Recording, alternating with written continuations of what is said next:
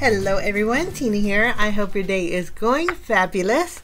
Thank you so much for joining me. Today we're going to create a card with a brand new die set over at Simon Says Stamp. This is called the Geometric Builders Hearts and lots of hearts in here that create the geometric shape that you can use using your colored cardstock. Um, or even pattern paper if you wanted to, or even white paper if you wanted to ink blend with your oxide inks. I think you could do that too. For today, we're going to create three hearts and um, we're going to use the horizontal stripe, the one that kind of looks like a, a burst, and then we're, that only has four pieces, and then we'll take this one that's kind of cut into eight pieces. The rest we're going to set aside. And um, for my card today, I thought we'd use an array, an assortment of oranges. And I do want to bring in a little shimmer with a gold cardstock. So I went through my scrap stash, found some colored cardstock, and we're going to get to die cutting. Um, now, I'm going to die cut out my hearts with all of these. Um, but I tell you, you can make more than the three. If you do this, you're, you're going to be able to make more than the three hearts that I'm making today. You'll probably be able to make a dozen. Um, if not, actually, let's see. One, two, three, four, five, six, seven, eight, nine, ten, twelve, thirteen. You'll probably be able to at least make 15. Okay, once all of my colored cardstock is die cut, um, I'm taking some white cardstock and then I'm just using some double-sided adhesive sheets. This is happens to be from Altenew, but um, I'm going to line it on some white cardstock and die cut out the heart. There's a solid heart in this die set um, that you can create regular hearts with or you can create a background for these. So I think it's perfect to add adhesive. When you die cut it out, die cut it out with the adhesive side up. Okay, so I'm going to cut out three and I'll just remove the release paper and then this just makes it easy for me to adhere all my pieces. If you don't have double-sided adhesive, you could use your tape runner or um, even double-sided tape or even glue. Just glue, add some glue to your heart here um, and then you can add all the pieces.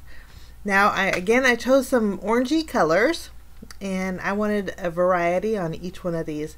And I found that it's easier with this heart to start at the end piece. And then you can take the second piece from any color you want, add that. You can take a third piece. We are going to grab this corally orangey color, my favorite color. and then we're going to add our last piece, which is like the lightest peach color here. And then that heart is all done. And I love the way it looks. It looks super pretty. Okay, we'll set this aside and we're going to work on our next. Now you see we have lots of pieces left over. You can make three more hearts with those. Now I'm going to go ahead remove the release paper off of this next heart and we're going to basically do the exact same thing with all of these colors. Now for this one you're going to need eight different colors of cardstock. Um, I have seven and then the gold. I'm going to start off with a gold putting it down on the bottom corner. That way it's easier to line up my second piece. We'll pick that up and I think if you have a jewel picker too, it'll help um, piecing these all together. And I'm just going around my heart adding the colors um, with no rhyme or reason, just making sure that the lightest colors aren't next to each other, kind of alternating them. And then once I have this finished, we are good to go. Kind of fits together like a little puzzle piece. And that is my second heart. Next, we're going to take, and you have lots of pieces left over, so you can make, of course, seven more hearts with all of these. Okay, now next we're going to make our horizontal striped one, and we're doing the same thing. For this, you need eight colors too. So I'll just die cut out all those same colors that I used for my previous heart, and we're just adding those to our sticky background, and then this one is complete.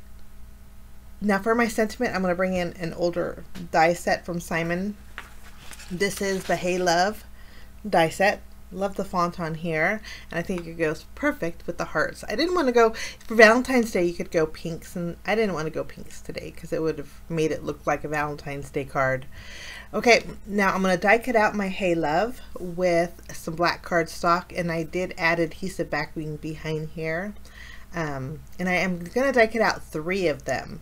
This way um, I can layer them all together. This way it'll give my dimension, um, my sentiment a little bit of dimension. This is the Hey Love that I was talking about. And I'll list it down below. Um, we'll die cut this out and, and then I just layered them off camera. You can see there. Now I trimmed down a panel that measures four inches by five and a quarter. And then I thought we'd bring in a little bit of shading using some Distress Oxide ink. I have two different colors of blue. I have Broken China and Tumble Glass. And I'm just going to go along the left edge of my panel. I'm going to go ahead and start off adding a little bit of my Broken China first. And then I'm just going to spread out that color and add a little bit of Tumbled Glass so it kind of fades into the white. I just want a little extra contrast on my my card and I think this blue just works out perfect. I brought in my I brought my glass mat. I'm really I love working on the Tim Holtz Tonic Studios glass mat but the glare you could see my ceiling fan in it and I didn't want to drive you guys crazy with it but goodness it's it stays so pretty and then also um, it's so easy to clean up oh my goodness so I brought my glass mat back Next, we are going to pop up each one of these hearts. We're going to put them in a little triangle towards the top here. And then um, we'll go ahead and add our Hey Love after we um, have adhesive. We're not going to remove the release paper just yet. I'm going to add my sentiment first. Make sure that it fits. Should have tested that out first. but basically I want it to look like this with my sentiment in the bottom right corner here. My um, the other black mat that I was using works fabulous. It's from Ulta Altenew, but I'm wearing it out. I clean it so much that the grid lines on it are not white no more. They're um, they're fading, and it doesn't look as clean as I wanted it to look. so I'm doing a little um, a little switcheroo here. But there's the Hey the H is separate from the EY, and then the love is one solid piece. And I think that it looks good there, and I stuck it down. I just removed the release paper and then added the Hey Love down there. And then we're adding our hearts there too. I'm going to flip this panel over. We're going to add adhesive behind it, and then this is going to go on a standard A2 size card. And I'm using my new um, Simon Says Stamp tape runner. So far so good, and I have to tell you it hasn't clogged on me. Um, so I'm kind of impressed so far, knock on wood. now I think I need to change my plates on my um, on my Platinum 6, my die cutting machine, because um, I know it's time when my die cuts start having little um, paper shavings, and that Love had quite a few. That's what I was doing with the, um, the tweezers there, trying to clean it up.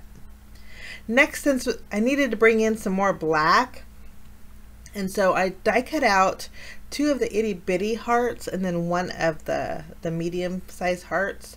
The medium one's going to go in one of the, the geometric hearts here, and then we'll add the two tiny ones on the top and bottom. I'm just going to use my glue to secure those down. And then I do want to add a little bit of sparkle, of course, so I'm going to use my Diamond Stickles.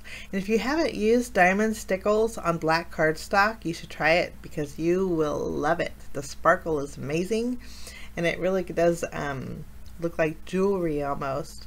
But I'm going to add a little bit to the small hearts and then the heart again on the geometric design. And then that's my project today, guys.